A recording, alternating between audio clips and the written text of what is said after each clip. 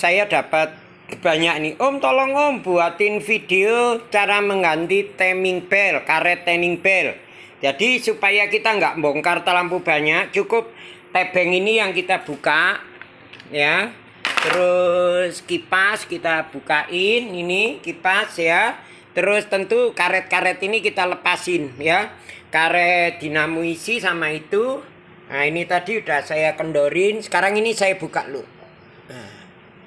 Ini saya buka. Nah, ini kan ini ini dibuka. Ini bautnya 17 tadi barusan udah saya buka nih bautnya di sini tadi. Baut gede, baut 17 nih. Ah, nyepit lur bautnya. Nih bautnya ya. Nih. Terus ini baut 10 10. Udah di, saya bukai, sekarang mau saya praktekkan aja biar sampean enak. Tolong Dom, uh, pegangin Dom. Ya, biar kelihatan cara mengganti timing bell ini. Jadi tutup ini yang kita lepas. Dan usahakan uh, ini di knob aja ini. Ya, kita ini baut 12 ini dua kita kendorin baut 12 ini sama sini ini tadi udah saya kendor lah ini ini saya copot lur ah, karetnya saya copot ceritanya tapi kalau putus mah enak nah saya lepas ya. Ini karetnya saya lepas. Nah. Nanti uh, saya kasih tahu cara masangnya. Oke. Okay kita sudah lepas. Tetap tuh kebersihan kita jaga ya. Di dalam ruangan timing ini harus kita jaga kebersihannya. Karena yang kotor-kotoran ini kadang-kadang membuat karet timing seling uh, nih sini. Lihat ini. Ini juga harus kita bersihkan lur kita bersihkan terus sama dicek ini masih muter nggak enak nggak nah kalau enak terus pernya masih main nggak nah ini masih main berarti masih oke okay. Nah, terus lihat gundukan ini ada ada bendol ada bekasnya nggak? Biasanya kalau karet timing bel putus ya, ini ada semacam kayak linggi-linggi itu bekasnya karet putus. Kita bersihkan aja nggak apa-apa, nggak usah diganti nggak apa-apa lah. Nah, nggak perlu dikit-dikit main ganti-ganti, cukup ganti karet timing yang bagus ya. Ini ini uh, permintaan di salah satu apa itu namanya yang nonton di Super Om. Buatin om. Ya ini saya buatkan khusus untuk rekan-rekan uh, yang mau ganti timing supaya mudah. Nah cukup ini aja nggak perlu bongkar ke mana-mana. Ini kan nggak ada yang dibongkar ya. Cukup bongkar ini kita bisa ngeliat. Terus nanti paskan top ini uh, titik ini loh titik ini ke di sini kelihatan nih ada. Terus di bawah ini juga nanti nanti saya jelaskan waktu pemasangan ya. Kita mulai memasang timing karet timing ini. Kita harus menyesuaikan bawah dulu. Di bawah ini ada tanda ini. Ini tanda ini lubang pas ke sini. Nah ini ini ada panah jadi kalau mungkin kalau di video kurang jelas ya ini ada panah ini titik. Berarti sama belak samping sini cocok. Kita lihat ya kita dingin aja lur. Nah itu.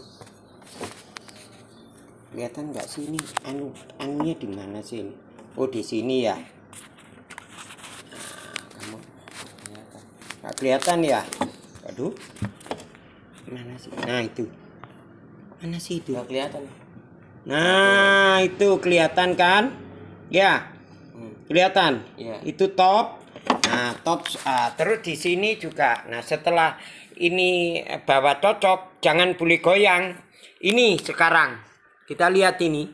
Ini ada kan titik kelihatan Garis. titik lur. Nah, terus ada kayak semacam gerajian. Di sini ada panah. Ini panah. Kelihatan nih. Ini panah. Oke. Nah, sekarang saya mau masang karetnya ya. Nih. Ini karet saya pasang.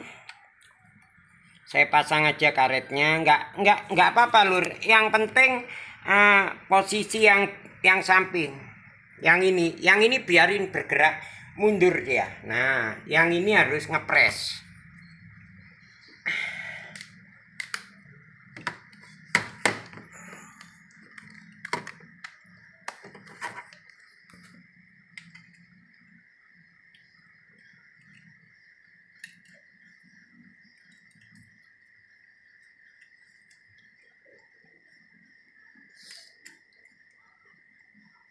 Nah, kalau sudah begini, yang penting ini.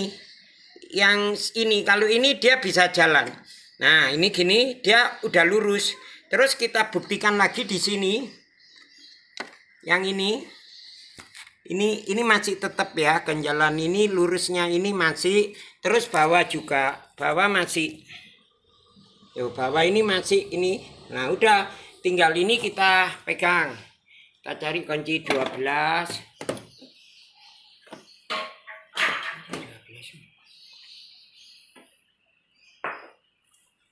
Setelah kita dapat kunci 12 nah ini masukin sini buat dorong. Setelah dorong gini nggak usah terlampau kencang. Ini kita kencangin nah baut ini kita kencangin loh.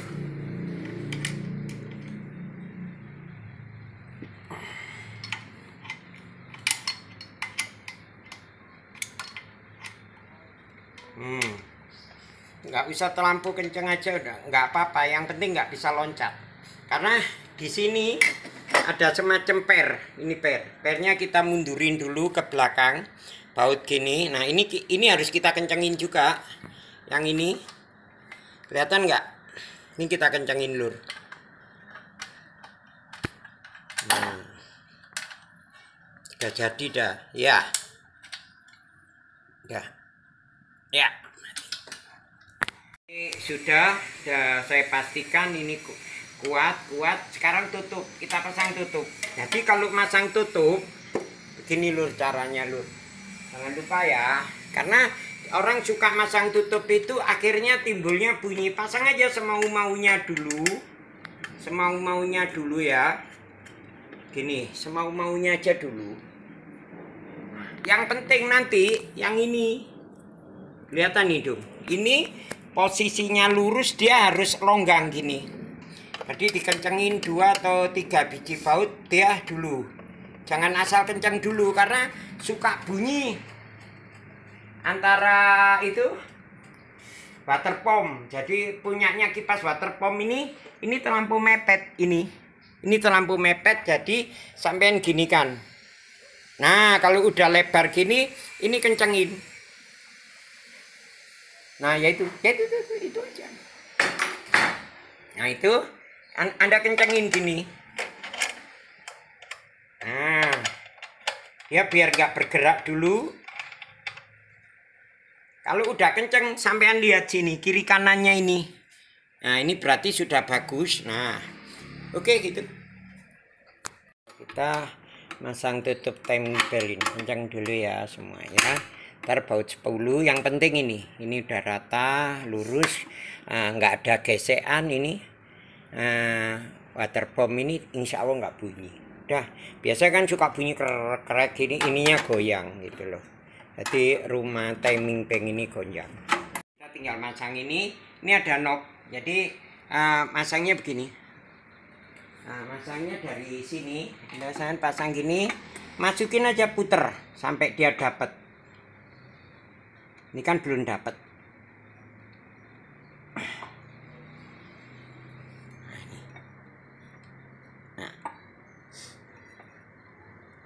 ada karetnya ini berarti.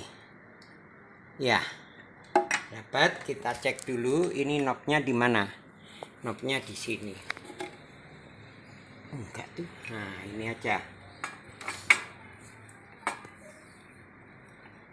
Nah dapat kan dapat jangan lupa baut ini kita pasang ya kurang kurang naik ke atas tuh video nah ini kita kencengin lur nanti kalau kencengin ini jangan ya Cara bukanya juga sama. Tadi lupa saya nggak ngasih tahu. Pakai obeng.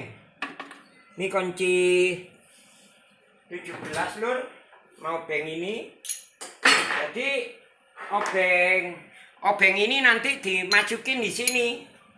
Di roda gila ya. Dimasukin di roda gila gini buat nahan. Kamu video sama megangin. Ayo tak kencengin. Nah ini. Kamu tahan sana. Ditahan ya. Nahannya di roda gila. Udah? Udah ditahan? Hmm. udah belum? Kalau udah ya mau pakai sambungan. Ini yang kuat ya. Udah? Udah lagi sekali lagi. Nah, nahannya di situ lur. Supaya di roda kilat tancepin obeng biasa aja. Terus ini yang kenceng. Nih. Lagi dikit lagi. Aduh kok lepas? Jangan lepas. Nah. Dah. Jangan lepas ya. Lepas tangan bahaya jangan lepas dulu sekali lagi karena ini tetap harus apa ya do 17 yang kuat. Udah? Ini ditahan. Lihatin ini tahan pakai obeng konjip di sini. Ayo, iya. Ah, udah.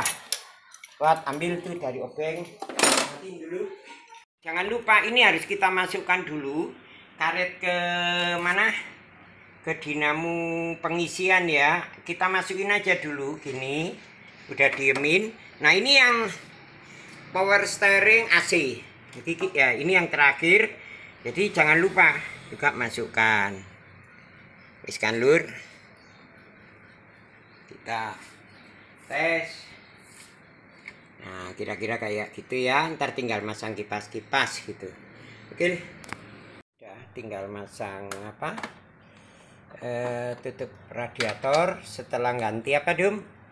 Timing bell atas permintaan. Um bagaimana cara masang timing bell? Nah itu tadi. Semoga ini penjelasannya jelas ya. Oke lur gitu aja. Jangan lupa di subscribe nanti ya. Tapi tentu akan saya hidupin dulu. Ntar uh, pincangnya atau gimana ya? Ya pasangnya coba lah dihidupin ya ya. Coba dihidupin. Tak panjang ya.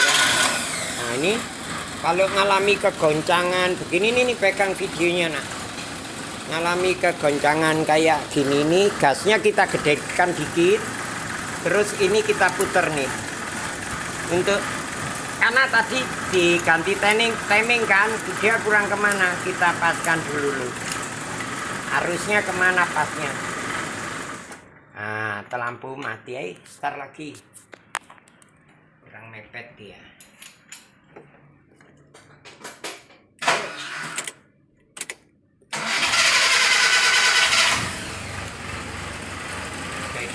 panjang ya hidupnya ya. Kita lepas saja kita lihat nih. Satu topnya lari ke mana? Ini kita lepas dulu tapi ini harus dipegangin